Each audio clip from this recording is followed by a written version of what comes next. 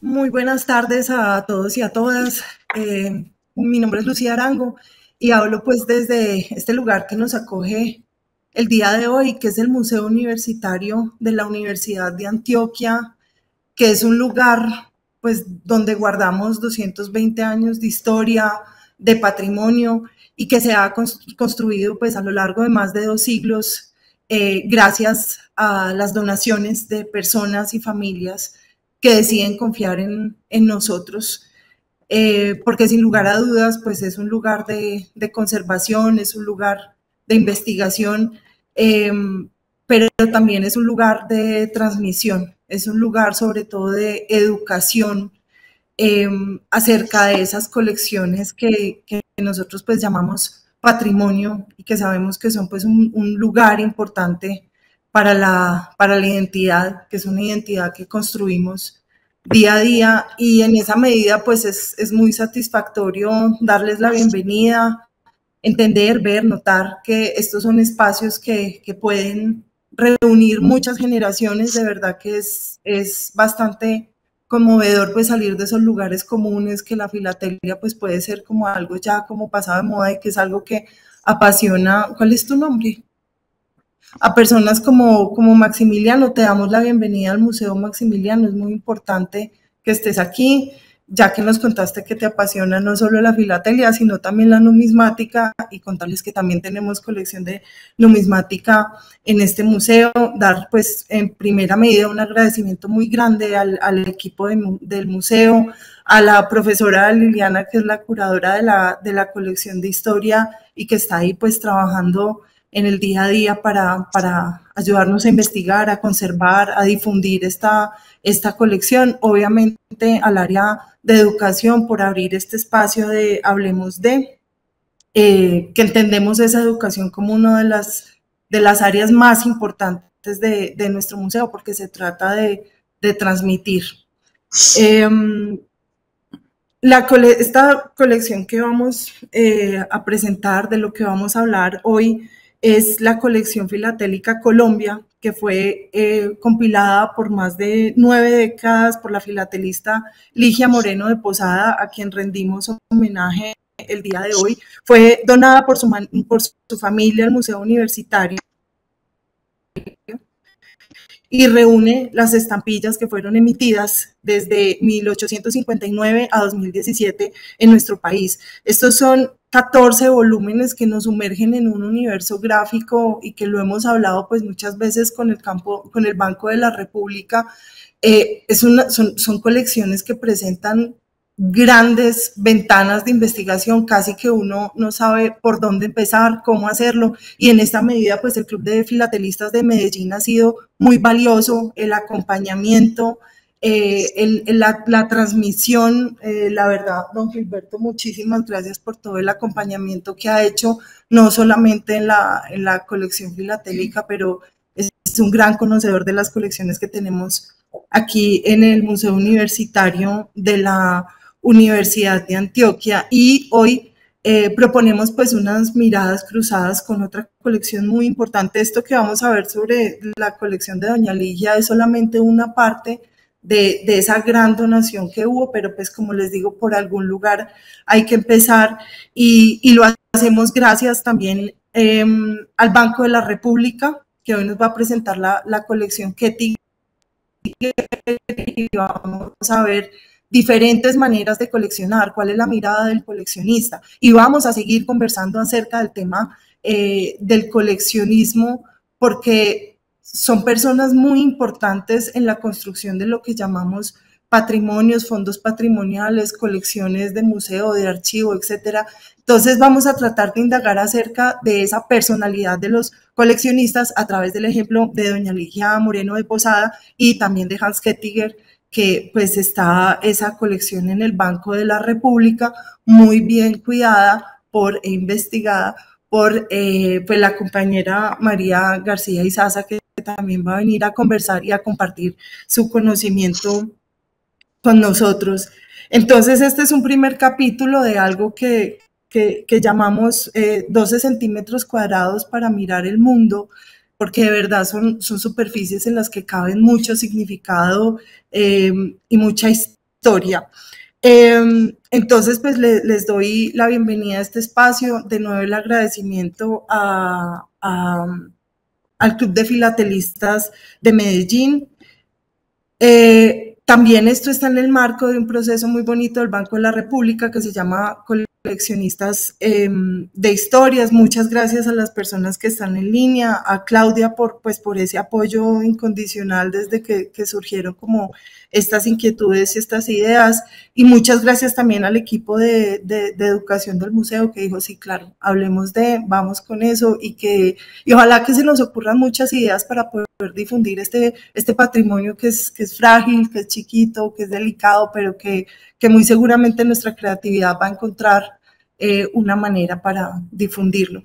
Entonces aquí nuestros protagonistas del día de hoy, doña Ligia Moreno de Posada y Hans Kettiger, eh, quiero darle la palabra a la señora Silvia Posada, hija de, de, de doña Ligia, quien se encargó también de fomentar esta donación agradeciéndole muchísimo por su, por su confianza que esperamos seguir honrando aquí en el Museo Universitario de la Universidad de Antioquia. Bueno, eh, para mí es muy grato, primero, pues que la Universidad de Antioquia se haya interesado realmente en este legado de la mamá que de verdad consideramos, pues es una apertura, como dicen ustedes, en 12 centímetros cuadrados pues como no solo la historia del mundo, sino a todo un desarrollo de orden cultural, deportivo, artístico, histórico, etcétera, pues como en muchas direcciones. Mi madre empezó a coleccionar estampillas desde muy pequeñita, pero ella coleccionaba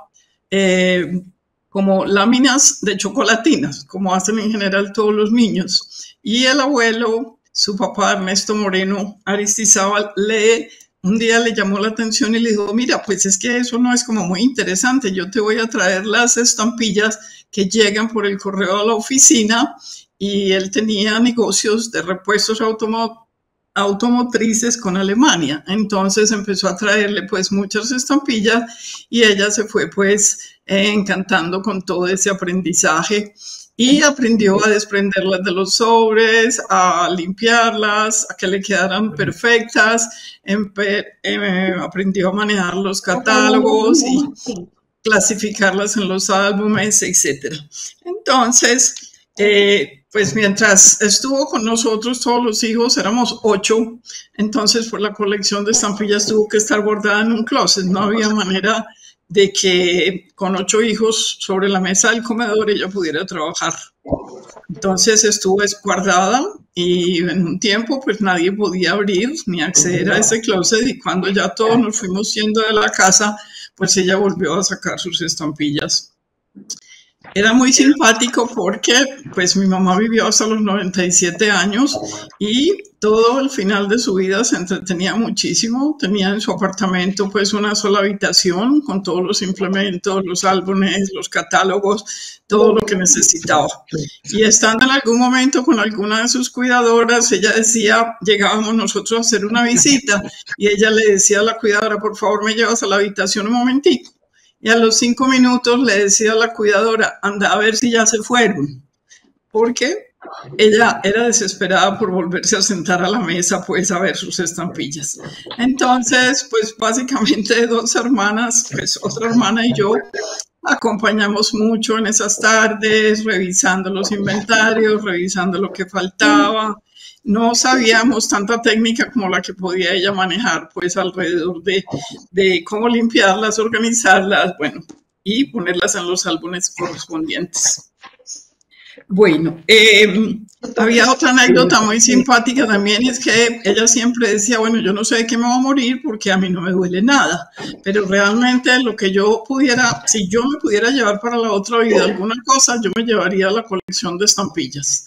Entonces, entonces le hacíamos pues mucho eco a, esa, a ese interés de ella y además fue una mujer que se destacó realmente por valores culturales, le interesaba, quería estar en todo, eh, mi papá fue una persona importante como presidente de la ANDI cuando la ANDI funcionaba en Medellín y ella participaba mucho, pues dijéramos, como en sus reuniones y en sus cosas. Y entonces, pues toda esta colección de estampillas le permitía a ella, desde el punto de vista, pues como cultural e histórico general, como pues aparecer como una mujer muy culta, digámoslo así. Ella tenía otra faceta muy interesante, muy linda, que fue la de recolectar orquídeas, no solo pues traídas del exterior, sino nativas colombianas también. Eh, muchos de los colonizadores llevaron orquídeas nuestras para el exterior y luego allá hicieron cruces, híbridos, etcétera, que después las volvimos a traer aquí toda la colección de Josefinas que llamamos las Miltonias, que tienen hoy montones de colores rojos, no sé qué, a partir de la rosada normal corriente. Pero ella básicamente se entretuvo pues montones con sus estampillas, estaba muy feliz manejando realmente todas esas, eh, todos esos álbumes y cuando cualquiera iba a salir de viaje, ella siempre decía, ay, por favor me traen estampillas. Vea, ¿por qué no van al Parque Bolívar? Que en el suelo en el Parque Bolívar venden estampillas. Entonces, mamá, es que eso ya no existe. No, sí, yo las compraba ya. Entonces, siempre todo el mundo le traía como en regalos, pues las guías, los catálogos o álbumes, o pues bueno, estampillas también, porque ella coleccionaba pues la, la doble colección, las nuevas y las utilizadas. Entonces fue interesante también, muy reconocido su trabajo por la administración postal, Luego le hicieron una estampilla también con una orquídea que habían descubierto que había estado perdida durante 300 años. Entonces ellos decían, la debemos encontrar a tal altura sobre el nivel del mar y en tal momento que debe estar florecida para poderla reconocer. Entonces ella se montaba en un camión con varios pues, de sus trabajadores y se iban a buscar la famosa orquídea cuando estaban abriendo carreteras por bosques y cosas de esas y bueno, encontraron la orquídea. Entonces son anécdotas muy interesantes como de su interés, de su lucha, de su gusto por saber, por aprender y bueno, por hacer algo importante. Básicamente eso pues les puedo como contar. Muchísimas gracias, eh, doña Silvia. Muy interesante esa, esa carta que usted escribe al momento de hacerle la donación al Museo de la Universidad de Antioquia y muy interesante también documentar así una colección para darse cuenta que algo que, que, que, al ingresar a un museo se puede volver algo frío como una colección, pues darse cuenta y recordar siempre que detrás de eso no solamente hay una persona, sino todo lo que esa persona logra movilizar en torno a ella para, para hacer realidad aquello que llamamos pues colección. Entonces, muchísimas gracias, doña Silvia. Le doy eh, la palabra a don Gonzalo Wigman del Club Filatélico de Medellín. Don Gonzalo, por favor, tome asiento. Sí, buenas, buenas tardes. Este homenaje que rendimos hoy a doña Ligia Moreno de Posada es muy merecido, ya que ella fue una excelente filatelista y compañera de todo el grupo ella velaba porque asistiéramos todos a las reuniones, conversaba con todos y su colección la dividía en estampillas de Colombia, Vaticano, Alemania y una serie especial de orquídeas, ya que ella era de los propietarios de Colombo Orquídeas y cada vez que salía una estampilla de orquídeas fuera aquí o en el mundo, estaba muy interesada en adquirirlas. Doña Ligia siempre, siempre eh, me pedía que por favor le llevara todas las últimas emisiones que tenían de Colombia. Como ella coleccionaba nuevo y usado, y ustedes saben que desde hace ya mucho tiempo ya no nos llegan cartas. Entonces, me pedía el favor que en una oficina de, 472 o apostar en esa época le pusieran el sello a las estampillas nuevas para ella tener las dos variedades, nueva y usada. Así fue y así le cumplí yo mucho tiempo hasta que el de arriba se la llevó. ella, de la última frase que tenía y con la cual quiero terminar, es que decía, el que no tiene un hobby está jodido. Y esa es la realidad, porque si uno no tiene un hobby y se levanta, no sabe qué hacer nada, televisión, prensa, al cabo del rato se le acaba todo. En cambio, teniendo un hobby como ese de las estampillas, está permanentemente pensando, esta me falta, organizando las que tiene y todo lo demás. En todo caso, esa es la historia Doña Ligia, una excelente compañera filatelista. Muchas gracias. Eh, ahora eh, le voy a dar la palabra a Gilberto Gallo, que va a hacer la presentación sobre la colección de Doña Ligia. Bueno, entonces la, charla va a ser explicando un poco lo, lo que Doña Ligia y también algunos aspectos pedagógicos, porque entendemos que sobre todo las personas que trabajan en el museo no son muy duchas en estos temas, entonces va a ser también un poco pedagógica. Entonces, eh, como explicó Lucía, ella donó 14 álbumes, 11 eh, con la colección de Colombia y 3 con bloques de 4. Entonces ahorita miramos eso ya pues sabemos que son desde la primera de Colombia de, de 1850, 1859 hasta el 2017. Las, ella las tenía, las tiene casi todas de esa época. Las primeras las tienen en hojas de clasificador. Entonces aquí podemos ver la, la primera emisión y la séptima. Las tiene todas consecutivas en los álbumes en hojas de clasificador. Enseguida le voy a explicar un detalle en la próxima filmina. Además de, de estampillas, ella también tiene algunos sobres. Generalmente asociamos estampilla con filatelia, pero no lo mismo. E, estampilla se refiere a la, a la, al rectángulo para la estampillita, pero la filatelia implica más, más temas. Cuando hablamos de filatelia, hablamos de la estampilla propiamente dicha, hablamos de sobres, ustedes pueden ver que son sobres que han circulado. Entonces eso también hace parte de la historia postal, porque nos permite ver eh, cuánto valía una carta, de dónde a dónde se iban. Pueden ver unos sellos, esos sellos también tienen importancia en el coleccionista. Y todos estos son sobres circulados. Además de estampillas y sobres circulados, también ahorita vamos a ver unos pliegos.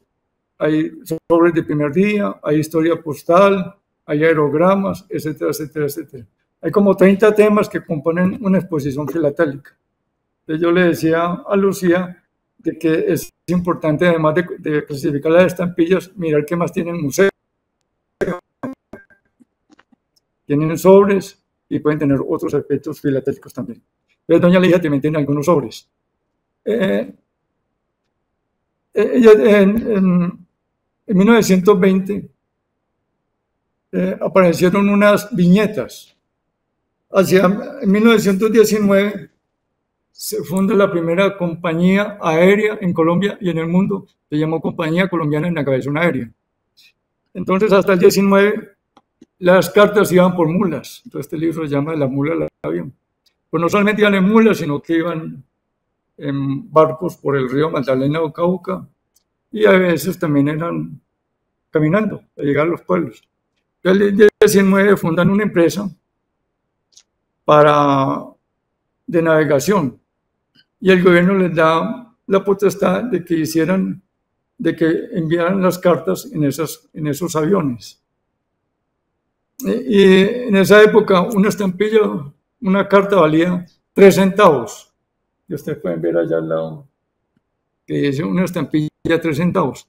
Entonces le, le dijo al, a los dueños de la empresa de aviación, hagan alguna cosa para que puedan cobrar un, sobrecosto por el servicio. Entonces, son estas que ven aquí, que son nueve. Entonces, había una litografía en Barranquilla que tenía una propaganda de unos aviones Curtis. Entonces, sobre esa propaganda hicieron, le pusieron el, nombre de que compañía colombiana de navegación aérea y ahora le pusieron un precio de 10 centavos. Entonces la carta más barata valía 3 centavos para el gobierno y 10 centavos para ellos por transportarlas. Y estas se llaman viñetas, son nueve. María en el banco tiene seis. Tres. Estamos intentando conseguir las otras, pero son muy difíciles. Cada una vale en promedio, es la más costosa de Colombia, con en promedio vale 12 millones. ¿Y por qué llaman viñetas? Si miran aquí, esto es un pliego. Las estampillas se imprimen en, pliegos. Y mira que la estampilla tiene un valor. A veces para llenar el, el, espacio, a los lados ponen dibujitos. Esos dibujitos en filatelia se llaman viñetas. Esto nos sirve para mandar cartas. O sea, cuando uno manda una carta, eh, lo que uno paga es esto. Aquí paga uno 100 pesos. Esto es como un adorno. Entonces, a ese adorno le decimos viñetas. Y hay gente que colecciona también esto. Entonces, hay viñetas de ciclismo, hay viñetas de fútbol, hay viñetas de mujeres. Entonces, como esto era unas hojas de, de propaganda, lo que hicieron fue ponerle el valor y la empresa, entonces pues se llaman viñetas y son las más escasas. Entonces usted ve que ya tiene un sobre circulado donde dice correos, que fue puesto en Barranquilla, tiene la estampilla del gobierno y la viñeta. Entonces mire que tiene, además de eso, tiene una historia muy rica esa estampilla. vale pues 15 millones. Las segundas estampillas que sacaron esta compañía fueron estas. Las rojas vienen en bloques de 72 y las azules, eh, perdón, las verdes que son un verde azulado y un verde más oscuro, vienen en bloques de 66. Realmente, cuando uno tiene la estampilla sola, a veces le pasan detalles, pero María acaba, el banco acaba de adquirir el bloque de las verdes de 66, donde podemos ver cómo se imprimían las estampillas. Ahora que se imprimen en, en tipografía, todas son estándares y vuelticas. Pero antes las estampillas se hacían sobre todo con, con piedra, en litografía. Entonces hacían una, una muestra y en base a una muestra iban, armándolo, iban armando cada pliego. Entonces, las que se hacían antes, todas son distintas. Ahorita vamos a ver con María unos estudios. Entonces, es importante también coleccionar esos pliegos porque nos permiten entender cómo, se, cómo era el proceso de impresión de las estampillas. Aquí eh, volvemos a ver otro sobre.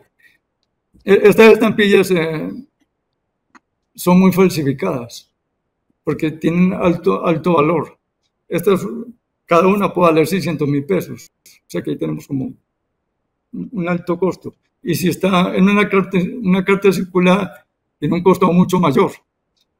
Em, nos decía Guillermo que doña Ligia coleccionaba nuevo y usado.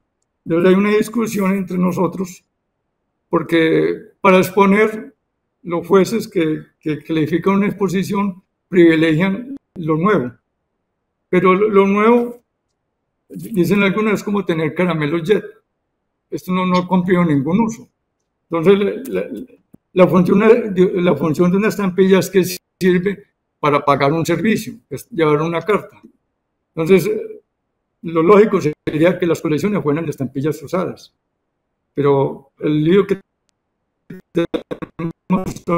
es que ya, ya, nadie envía cartas, entonces ya es muy difícil conseguir estampillas usadas. Pues doña Ligia tenía las dos colecciones, una nueva y una usada, que era muy difícil de hacer. Inclusive entonces, en las primeras que vimos, casi todas son usadas porque conseguir nuevas de esa época es muy difícil. Eh, entonces aquí ya vemos que las primeras les conté que vienen en, unas, en unas hojas negras que, donde se van poniendo ahí, que se llaman clasificadores. Y a partir de cierto momento ella ya tiene las hojas en, en este tipo de, en este álbum. Este es un, un álbum que es un señor que se llama Leo Temprano. Leo Temprano es un español, que vino aquí, como todo, se enamoró y se quedó aquí, se casó aquí. Y él hizo los primeros álbumes de estampillas. Entonces, nosotros eh, coleccionamos las estampillas en Colombia en base al catálogo Leo Temprano. Hay otros álbumes. Está el Scott de los gringos, está el líder de los franceses y está el Michel de los alemanes. Entonces, cuando uno cambia con una persona del exterior, dependiendo del país, le dicen, búsqueme la estampilla tal de tal catálogo. Pues nosotros coleccionamos con estos. Mm, yo hablé con, con Lucía y una posibilidad de mejora es que ustedes tengan las primeras en este tipo de, de álbum. ¿Por qué? Les va a permitir tener un inventario más preciso las primeras, porque aquí está, en, en todo está el dibujito de la estampilla y está la numeración. Entonces, esa numeración está ligada aquí al catálogo de don, de don Leo, donde usted podrá ver el precio de la estampilla usada y el precio de la estampilla nueva. Entonces le puede dar una valoración mucho más exacta y así es posible que sea mucho más fácil el inventario. Entonces una posibilidad mejor es que tengan este tipo de, de hojas para, para su colección. Bueno, estas estampillas son consulares. Resulta que en, esa época del 20, por allá, los aviones de, iban de Colombia a ciertos países, pero era muy, el, el, servicio postal no estaba muy desarrollado. Entonces lo que se hacía era que se mandaban las estampillas a un consulado. Por ejemplo, esta de A quiere decir que fueron a Argentina. Entonces se mandaban al consulado de Argentina, de Colombia en Argentina, todas las cartas allá las ponían por correo nacional y las distribuían. Entonces hay estampillas que consulares de Argentina, de Cuba, de Estados Unidos. Esto es una forma de distribuir, de distribuir el correo. Aquí vemos otros sobres que ella también tiene, que son sobres de primer vuelo. Como les digo, además de coleccionar estampillas, también se coleccionan sobres. Entonces, los sobres de primer vuelo también nos indican eh, un, desarrollo de la aviación, de los primeros aviones que se usaron, cuando se empezaron a usar, de qué países a qué países íbamos. Y de este lado no se ve muy bien, pero están las primeras estampillas de 1930 con Simón Bolívar. En 1930 hay una estampilla con Simón, con Simón Bolívar y es la primera vez que se imprime un sobre el primer día. Entonces, cuando, cuando se hace una emisión, se hace un acto como este, donde hay un sobre, a un sobre le ponen la estampilla, ahorita vamos a ver un sobre parecido, y se pone un sello. Eso se llama sobre el primer día porque es un sobre que circula el primer día que se lanza la estampilla. hasta este año porque ahorita hay problemas. De estos sobres también son muy, muy valiosos. Bueno, eh, cuando se imprimen las estampillas, se imprimen en, en, en hojas, como esta o como esta. Entonces, uno colecciona una estampillita, pero algunos que somos obsesivos coleccionamos toda la hoja completa y otros más obsesivos, como yo, coleccionamos e, esta parte, cuatro estampillas, que se llama bloque de cuatro, con, la, con el serial. Y además coleccionamos el bloque de cuatro sin el serial. Ahora por el, entonces tenemos una estampilla, un bloque de cuatro serial, un bloque de cuatro y el pliego. Ahora yo el, alto costo de las estampillas, generalmente ahorita las estampillas valen 20 mil pesos y si traen 10 serían 200 mil pesos, entonces ya coleccionamos no más que una, porque Maximiliano, 20 mil pesos lo que le dan para la semana, entonces ya con una sería suficiente. Entonces, Doña Ligia también tiene tres tomos con bloques de cuatro, que es una colección muy difícil de hacer. También otra parte de la filatelia son hojas filatélicas. Eh, ustedes miran que pueden ver que la estampilla está a un lado. Por ejemplo, aquí está, que está aquí bonita abajo. y al lado tiene unos dibujitos. Entonces, ese es cierto material que permite, esos diseños permiten hacer mensajes. aquí estamos dando mensajes sobre el banco y entonces lo adornamos con orquídeas, con orquídeas y arribita otro mensaje de, un museo de filatélico con con estampilla. Entonces se llama hoja, filatélica porque permite tener otro tipo de motivos al lado de la estampilla. También hace parte de la colección de Doña Ligia. Bueno, falta... Bueno, hay una... Ustedes van a poder ver allá una... una un sobre. Cuando, cuando ella se muere, como contaba la hija doña Silvia, le hicimos un homenaje. Entonces, eh, en el evento había muchas orquídeas. Y fuera de eso, entonces hicimos un homenaje donde hicimos una cancelación con una orquídea. a, veces por algún motivo cuando uno quiere sacar una estampilla conmemorativa, el proceso es muy largo con el ministerio. Entonces es más fácil mandar a hacer o, lograr que le pongan a uno una cancelación. Una cancelación es ah, ah, un sello ustedes lo van a poder ver allí, donde, como decía la hija, está el motivo de una estampilla que es muy difícil. Entonces, ese homenaje se lo hicimos a Doña Ligia a través de una, de, de la operadora de correos de 472, logramos que, que nos hiciera ese sello especial. También ahí van a poder ver uno, un, un sobre que le hizo don Bernardo González, que es un filatelista de Medellín, en compañía de, una asociación de Bogotá llamada Filco, donde el título es La Dama de las Orquídeas. Porque doña Ligia tenía una colección muy, muy, muy grande de estampillas con orquídeas, extensa. Por, por lo que ya ha explicado la hija, lo que explicó Guillermo, ahorita tenía que ver con, con el tema de las orquídeas en, en, su casa que nos, nos invitaba. Uno se maravillaba con 200, 300 orquídeas diferentes de todo el mundo. Entonces ella era un tema muy especial para ella. E, esa es como la, la, la explicación. Bueno, por último, los, que, los queremos invitar con María. El 15 de octubre va a haber una exposición en, en la Biblioteca de Empresas Públicas que queda al frente de la gobernación. Entonces vamos a tener exposiciones de todos nosotros. Doña Susana con, con los perros, don Gonzalo con temas de presidente, don, todos vamos a poner entonces, para que vayan en esa semana del 15 de octubre al 25 en Empresas Públicas, donde podrán ver más del tema. Eh, yo voy a hablarles de esta colección de Hans Kettiger, que conserva el, Banco de la República. Es una colección, bueno, muy importante que conserva el banco eh, dentro de su gran colección filatélica.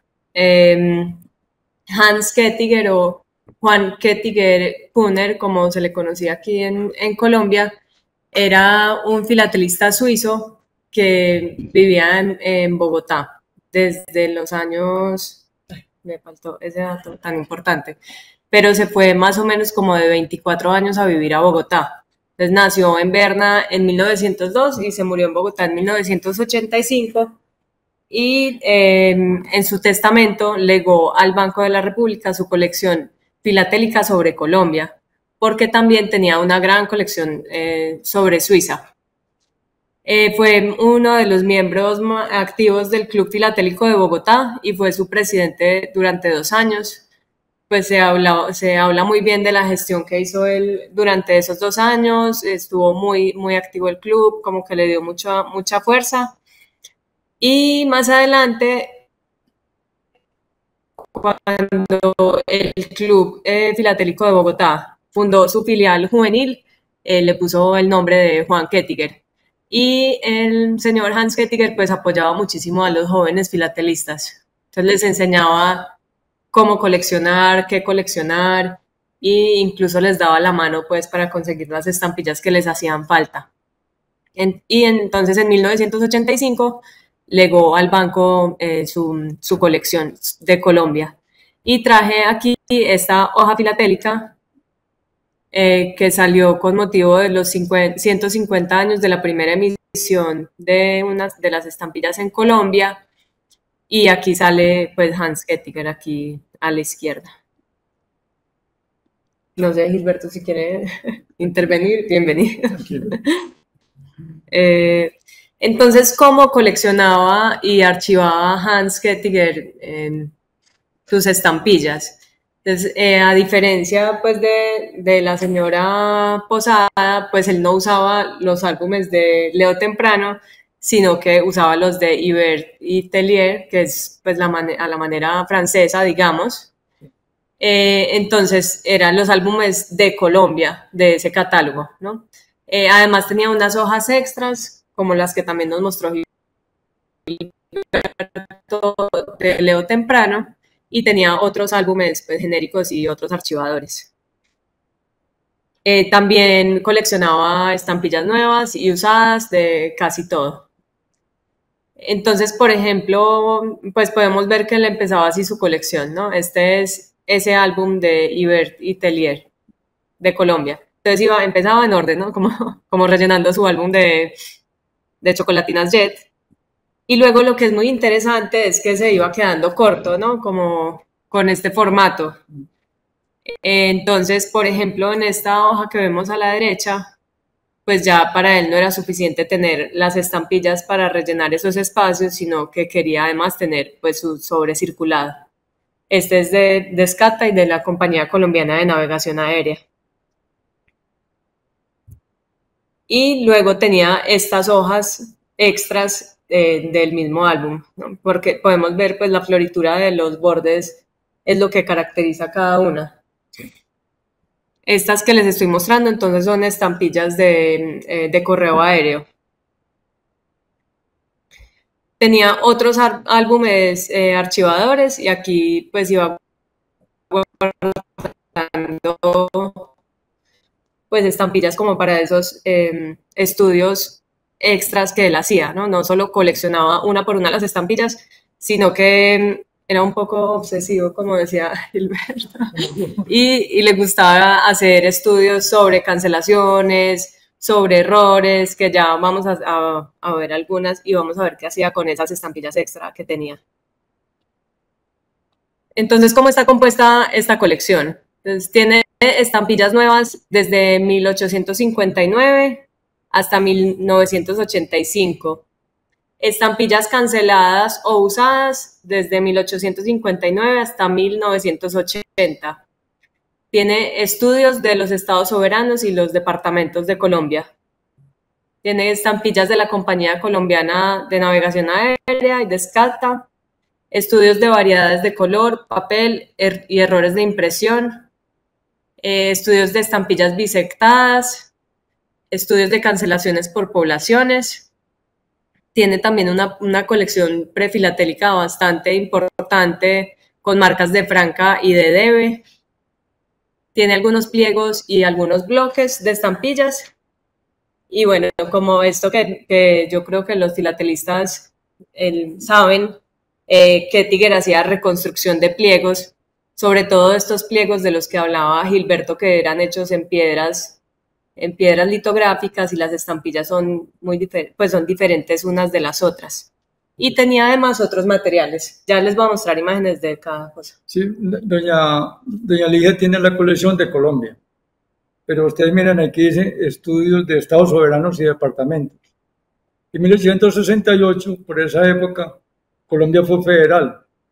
Habían nueve estados federales.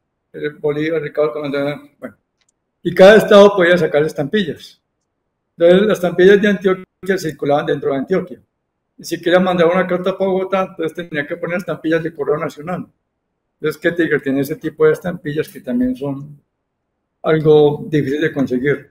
En la colección que debe tener aquí el museo hay algunas de los Estados Unidos de Antioquia, que después podemos hablar del tema.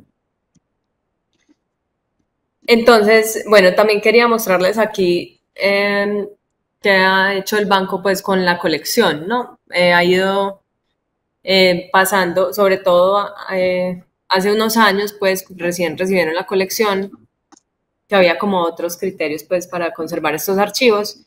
Entonces el banco fue sacando pues como esos estudios y poniéndolos en, así con unos textos en computador, ¿no? Entonces, por ejemplo, esta es la primera emisión y está nueva y está cancelada como pueden ver ahí.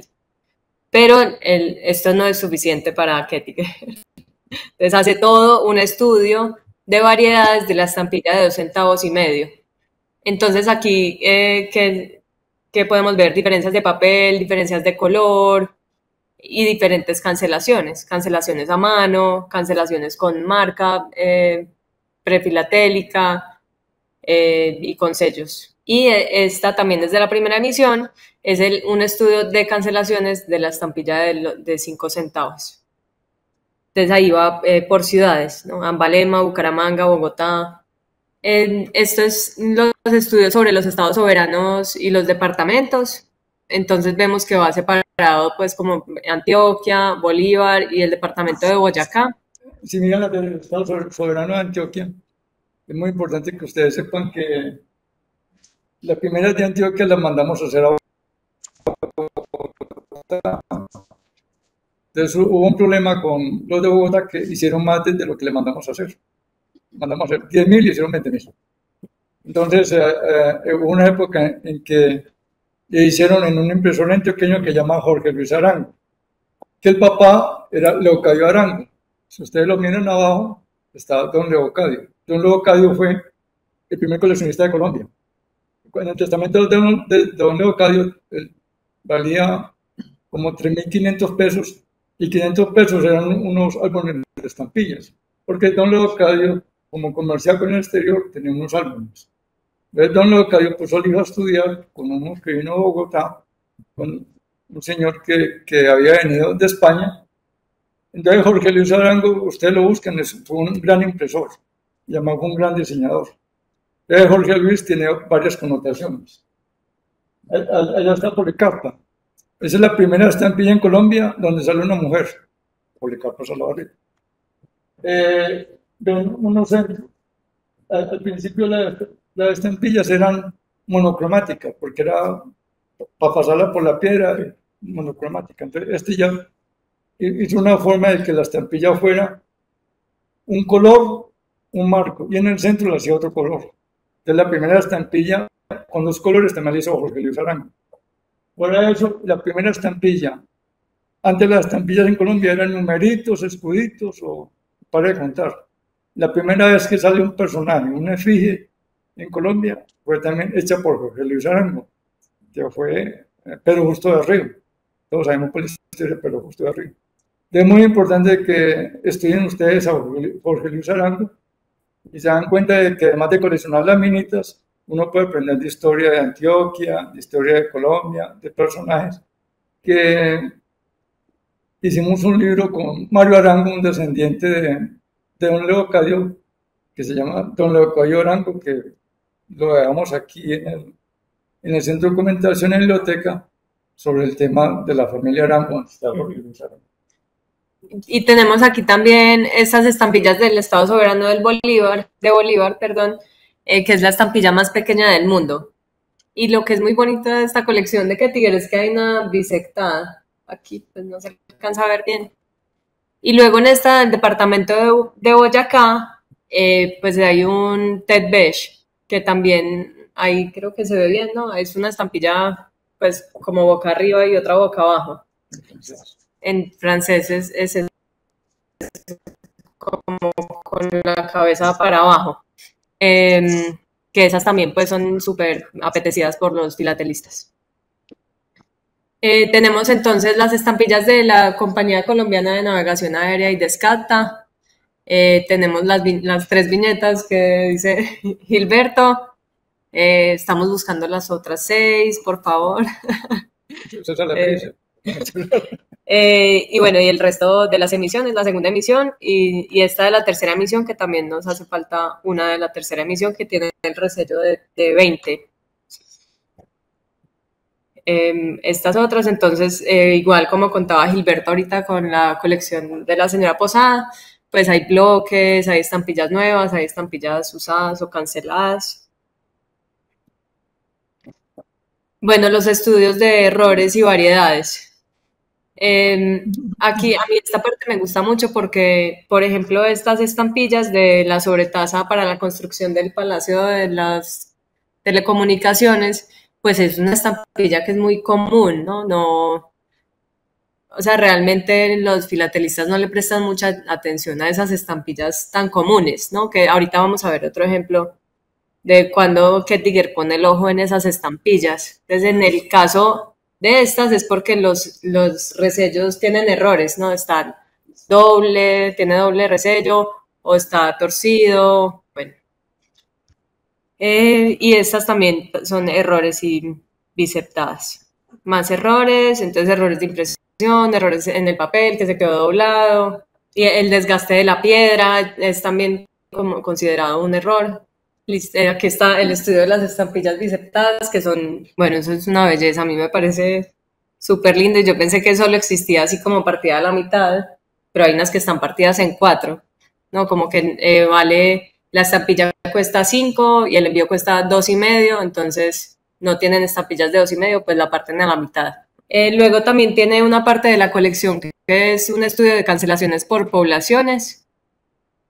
Em, esto es muy interesante, pues sobre todo ahora que se están haciendo esos catálogos de marcas, postales, hay filatelistas que sacan esta información también de los sellos y van recolectando los sellos, pues incluso ahora, ¿no? De 472.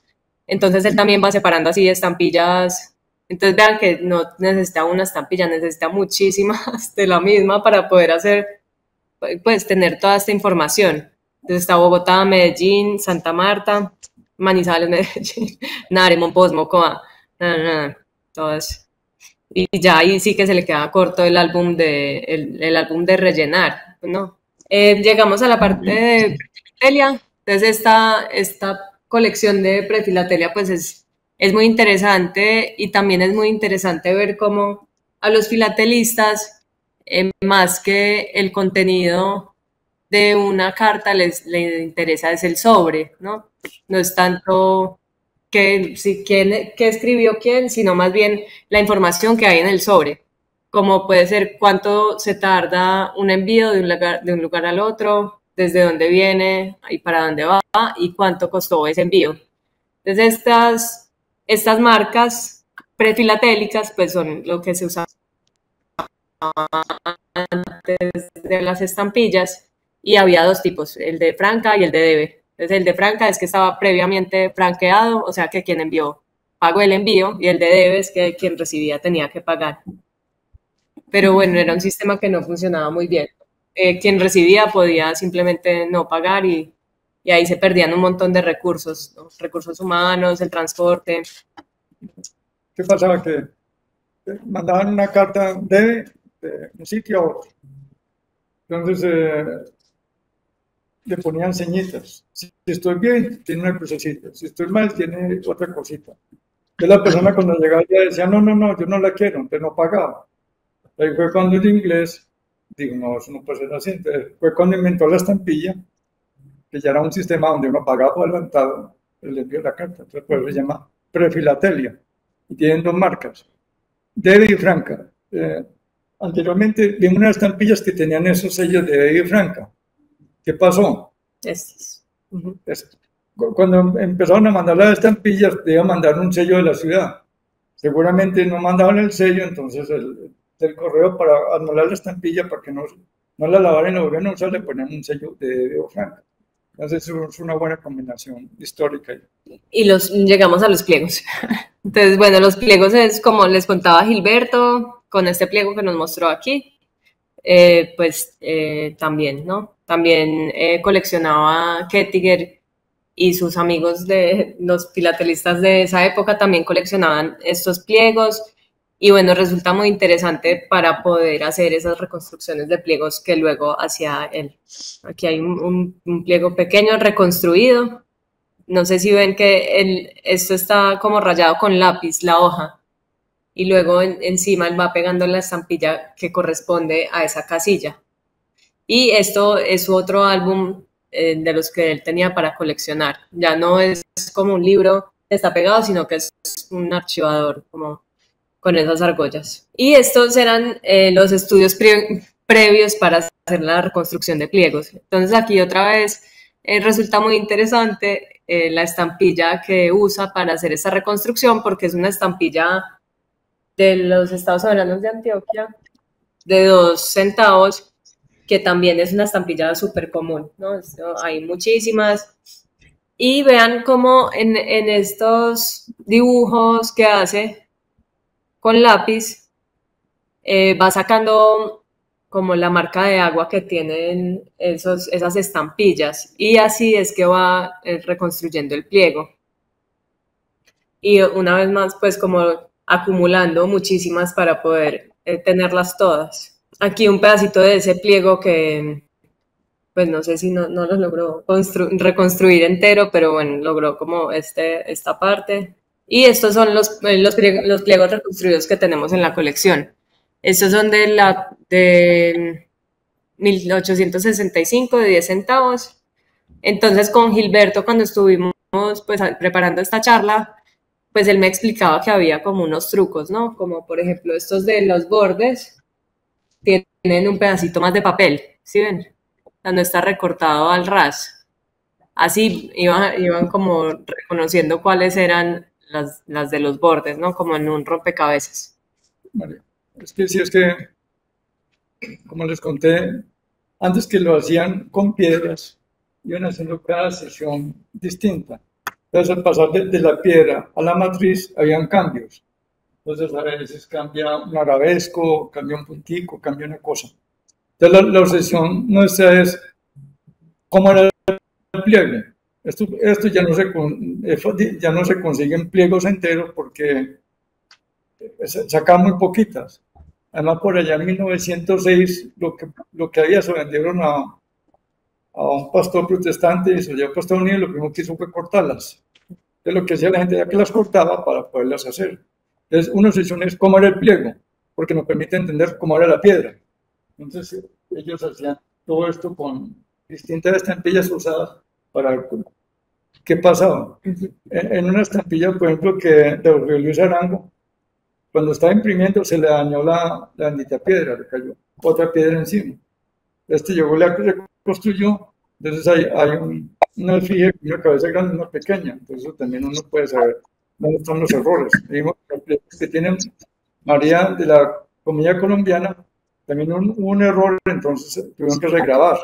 eso permite saber también cómo fue el proceso de impresión, que no era nada fácil.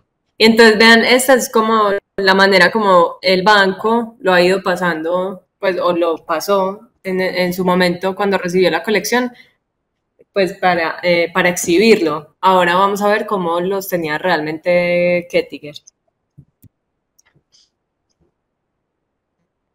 Este es otro de 1865 de Estados Unidos de Colombia, de 20 centavos. Es el de 50 centavos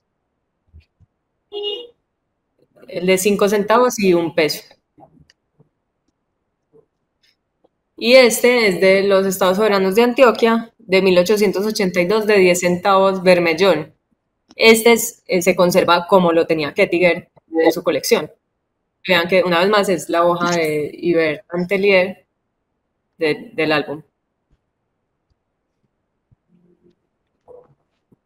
Y esta eh, son un par de pliegos reconstruidos de un centavo, de, de, un peso, perdón, de los Estados Unidos de Colombia, pero vean que uno es, pues está el pliego completo, solamente le faltan dos franjas.